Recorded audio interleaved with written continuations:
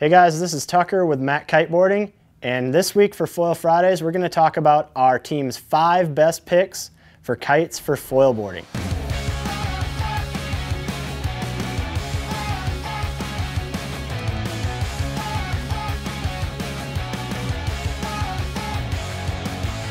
Now these kites can be broken down into three distinct categories.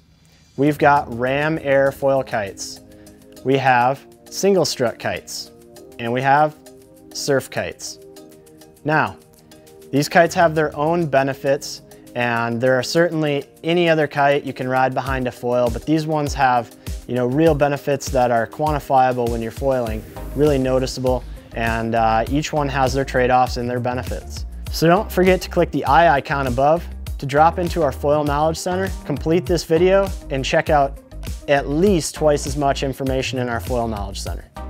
So let's start with surf kites. Surf kites have a ton of benefits and we're gonna examine those. For most people out there riding in adequately powered conditions, these are going to be the choice. When our team goes foiling, our number one pick typically, the Cabrinha Drifter. Why you ask? Well, the Cabrinha Drifter drifts. It drifts really well. That means it sits further back in the window and will fall downwind with you uh, when you're traveling downwind. With a hydrofoil, oftentimes you're carving, you're moving downwind, riding swell downwind, or doing downwind transitions, and due to the efficiency of that foil, you're gonna be able to overrun that kite or Hindenburg your kite really easily. A lot easier than you would on a typical kite board or surfboard. Um, therefore, when you're doing that, having the kite that falls downwind with you makes any of those tricks or any of that downwind riding that much easier. The second thing we really like about the Drifter is its quick pivotal turning. Now, when you're foil boarding, and especially once you reach an intermediate or advanced level, you can do some nifty tricks with your foil board. You can go pretty much anywhere you want. There's a lot of freedom. However, as a kiteboarder, you know that wherever you go, your kite kind of needs to follow as well. Otherwise, it's going to fall out of the sky and hit the water. So having the availability to turn that kite without getting yarded off of your board or yanked off your board is really essential uh, in a lot of those tricks and a lot of that scenario where you're going to be moving in different ways uh, in a more efficient way faster um, than you typically would with a kiteboard or a surfboard. The Drifter also has extremely consistent, smooth power delivery.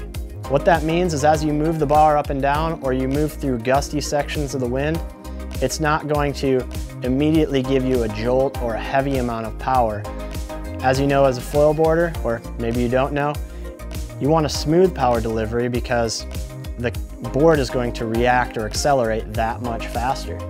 If you're riding strapless, that could also mean that you're gonna get yanked off your board. So having that smooth power delivery gives you a real reliable amount of power without making it seem sketchy or uh, inconsistent on the foil board. Lastly, the Cabrinha Drifter has two settings that are extremely applicable to foil boarding. The first setting, and our most frequent setting, would be the onshore setting. That one is the setting that will allow you the most downwind drift and the best performance in most conditions. Now, if you're riding in lower power zone where maybe you don't have quite enough power or you know, you really need to get upwind quickly for some reason, which typically isn't an issue for foil boarding, you can use the offshore setting. That'll allow the kite to move further forward in the window. It won't sit back and drift quite as well, but it will give you a little bit more low-end power and more efficiency upwind. Another surf kite that we really like is the North Neo. Now the North Neo is very similar to Cabrinha Drifter in a lot of ways, but in some ways different as well. The Neo does drift quite well, although not quite as well as the Drifter. So it does reap most of those same benefits, but if you're looking for a kite that you can really ride swell downwind or move your, your board downwind at the kite and have it follow along with you, the Neo might not be quite as good as the Drifter in that regard. The Neo, like the Drifter, also turns really fast and pivotally. And then the largest difference between the two would be that the Neo has a little bit more power on the low end. It's a more grunty kite, if you will. Because of that, it's a little bit better in the really light wind scenarios, or if you're riding a higher aspect uh, foil or a smaller board. In addition to that, it's going to jump a little higher. Because the Neo is so powerful, you can actually choose to ride a smaller size kite, which is real cool because it means your kite's gonna turn that much faster. It'll save you a little bit of money, and hey, it can be your exaggerated high wind kite uh, on a twin tip or a surfboard if you choose to do that. The downside of the Neo's power is that it does tend to be a little bit punchy, if you will. And what I mean by that is that the power delivery is fairly gradual, um, but if you yank it on the bar a little bit, it's going to really, you know, give you that jolt of power. Or if you're hitting a zone that's really gusty, you're gonna really feel that in your harness. So the Drifter, the Neo, both excellent kites, different choices going on there uh, that make one better for some circumstances, one better for the other. And at the end of the day, they're both excellent foil boarding kites in the surf category. So those are our two surf kites for foil boarding. And other surf kites are typically great choices as well. These ones just tend to be the favorites in the shop. We're gonna do another video that examines the differences in some of those and some of the benefits or trade-offs with those. Our next category is going to be single strut kites. Now single strut kites tend to be modeled after surf kites or freeride kites and slim down to only one strut to make them lighter weight for light wind scenarios. So these lighter kites, they fly in lighter winds. They tend to also have a little bit more power or more grunt on the low end since they're designed for light wind riding. When you go out on these kites, they tend to be fairly quick turning, they float well in the sky, and they tend to be quite efficient upwind. Because of that efficiency upwind, they tend not to drift downwind all that well. The first kite in our single strut category, and in no particular order, is the Naish Boxer. Naish Boxer came out last year as their single strut kite, and we've really enjoyed it. It's quite lightweight, it's a pivotal turning kite, and it's got great low end power. So in those real light days, in those days where maybe you can't fly your three strut or five strut or even seven strut kite, this is gonna stay in the sky a little bit easier and remain, remain a little bit lighter weight and more nimble than those kites in that scenario. So the Boxer has great low end grunt. A downside of that low end grunt, again, once you get more powered up, is that it's going to be pretty grunty and become overpowered quickly with a hydrofoil due to that apparent wind that you're creating uh, with the foil board. Our next kite in the single strut category is the North Mono. So the North Mono is similar to the Naish Boxer in that it too is extremely lightweight, has great low end grunt, is pivotal turning, so it's similar in performance. You're gonna be getting a lot of low end grunt and great performing kite in those light wind scenarios where your other kites aren't going to fly.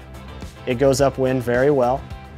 And just like the Naish Boxer, the trade-off for that efficiency upwind that it has is going to be a lack in downwind drift, which isn't that big of a deal when you're talking about getting out in the lightest of days because no kite is going to fall downwind all that well.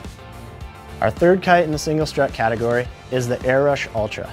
Now this kite was received really well by everybody in the industry and from us as well.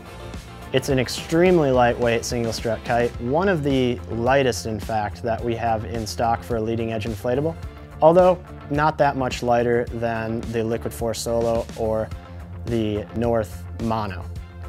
So the Ultra is great because it's super lightweight, it can fly in a very little amount of wind. It's very efficient and has great grunt on the low end. It too has excellent pivotal turning and you can reposition the kite without being yarded off the board. As with the other three kites, once these kites become really powered up, you really know it. They got a ton of bar pressure and there's not much depower left when you get in the higher end of their wind range. Not much of an issue for foil boarding since most of us like to ride in the lower end of the wind range for these kites, but it is something to make note of. Our fifth and final kite and our last category would be ram air kites. Our favorite ram air kite for foiling is undoubtedly the HQ Matrix, or HQ4 Matrix as they've recently rebranded. The HQ Matrix is purposefully built around light wind hydrofoiling in that the larger sizes are made with extra lightweight material and the entire range is designed with a lower aspect canopy than you'll find with almost any other ram air kite. Most of the ram air kites out there in the market are very bladey, very high aspect, As a result, they're extremely efficient upwind and very fast when it comes to uh, apparent wind. However, they're difficult to fly in gusty winds. They can be near impossible to fly. And when they do end up falling back a little bit, they tend to bow tie or fold in half. You have almost no, none of those issues with the HQ Matrix, and that is very stable in the sky, sits further back in the window, or at least slightly than most of those ram airfoil kites. Not to say that this kite is lacking in power, because it's not. The power delivery is excellent. It's a little bit more pull and go than you'd expect from most ram air kites, which is great foiling when you really need that low end to start uh, from a board started position before you gain that board, or that board efficiency and that apparent wind. So if there's a downside to this kite, it's that it is a ram air kite. You have to fill it up. There's more bridles to deal with, although again, with the HQ Matrix, not that many more, uh, and definitely not as many as some of the more complex or high aspect race, race kites out there. If you do end up dropping this kite in the water, like most kites in light wind, it's gonna be quite difficult to relaunch. And because of it being a ram air kite, you're dropping it on cold water, it's gonna be very, very difficult because that air then compresses. So with any light wind kite, if you're dropping it on the water, there's a decent chance you're going to swim. This is slightly exaggerated because of the design of the ram airfoil and the way that that whole deal works. In addition, you're going to go through a little bit of a different launching and landing procedure, and we can walk you through that in another video but it's just something to learn. It's not too much more difficult or less difficult than any other way. If you are traveling with this kite, it's extremely lightweight and it packs down tiny. I mean, I can fit an 18 meter in a small duffel bag or a small compression sack, no problem at all. And for 2017 and 18, this kite can even be flown with your typical four line bar, no special bar required. Again, don't forget to check into our Foil Knowledge Center. We're working really hard building out the most comprehensive information that you can find. We're gonna have answers, questions, articles, everything you can imagine there. If you have a question, it might already be answered. Be sure to drop in there and check things out. It's gonna be expanding almost daily, definitely weekly. If you found this video helpful, be sure to give it a thumbs up. As always, subscribe. Until next time, we'll see you on Foil Fridays.